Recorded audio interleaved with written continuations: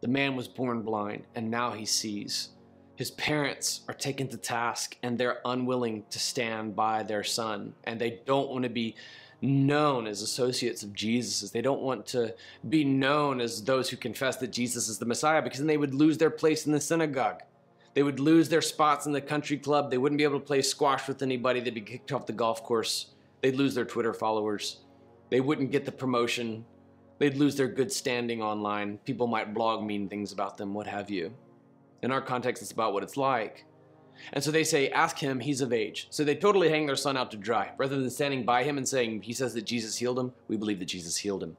They say, please don't take us to task over this. Just corner our son, who apparently can see now. Here's what happens when they bring the man forward again.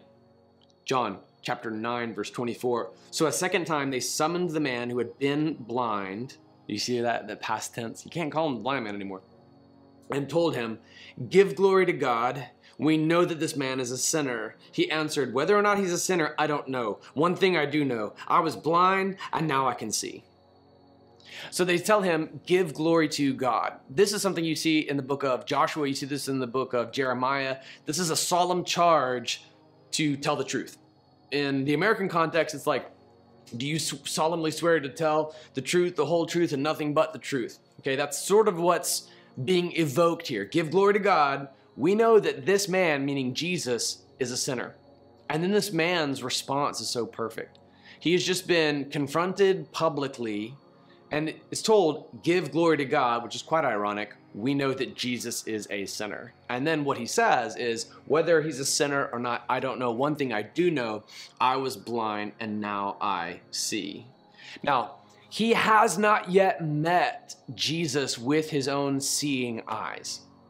This man's story of having been born blind, having been miraculously caused to see, and then, after faithfully standing by Jesus, sees Jesus is one beautiful microcosm of the macrocosm of how salvation works.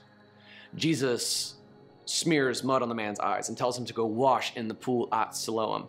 Now, Siloam, interestingly enough, was the pool at Siloam was discovered as recently as 2004 when they were uh, fixing a broken water main uh, in Jerusalem. They discovered the pool of Siloam, and it was uh, the word Siloam means sent. So don't miss this. He is born blind, and his disciples ask him who sinned. Was it him? Was it his parents? Could have been his parents. They didn't stand up very well on trial. Who sins that this man was born blind? This is a part of the Aiden's Hope curriculum, by the way. At jessecampbellministries.com, go to Aiden's Hope. This was part of my doctoral thesis, answering the question, what happens to babies when they die? Do infants go to heaven? How do we know that biblically? All right, what happened? Why, why was this man born afflicted? And Jesus' answer is clear. He, neither this man nor his parents sinned. This was done so that the works of God might be displayed in him. So this man, born blind, has mud smeared on his eyes, and then he is sent to Siloam. You see kind of a picture of baptism there as he is washed clean. And then he has not seen Jesus yet, but he is now standing on trial testifying to Jesus. Then after the fact, he's going to encounter Jesus. Just like you and I, we were born broken. We were born fractured by the fall. We were born with a sin nature. We were born depraved. But then Jesus, right there in our muddiness, sends us out. An encounter with Jesus is everything. And now, having been baptized, having walked in repentance from sin, having washed clean, now we testify to others, even if we're outnumbered, even if our own parents forsake us, we're going to tell people about Jesus. And then one day, one beautiful, sweet, blessed, amazing day, Christian, you will see Jesus. You used to be blind, but that day you will see. This is a testimony that is undeniable. Look, I used to be stuck in sin, and now all I want to do is walk in repentance. And when I mess up, when I fall, did you hear me say when, bloggers? when I mess up, all I want to do is repent and just make it right. I'm walking repentance after that. That's a miracle of God. Look, all I know is this I was blind, but now I see.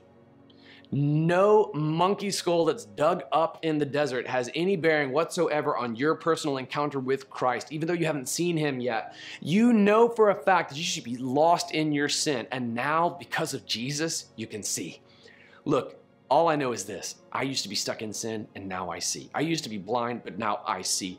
No one will ever be able to dissuade you of that. Your personal testimony is irrevocable proof of the veracity of the gospel because you're a fundamentally different person now than you were before. You remember your old sinful self and you regret it when you step back into those ways. You were blind, but now you see. So come what may, say what you will. I've encountered Jesus. He's changed my life forevermore.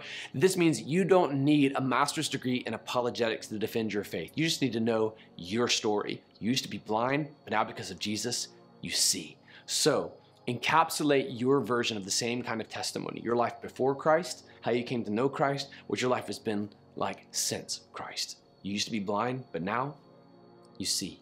No one, no one, no one can strip you of that testimony, and no one will ever convince you otherwise. It is your testimony, and it's a beautiful story about the truthfulness of the gospel. So use it and light up the darkness today.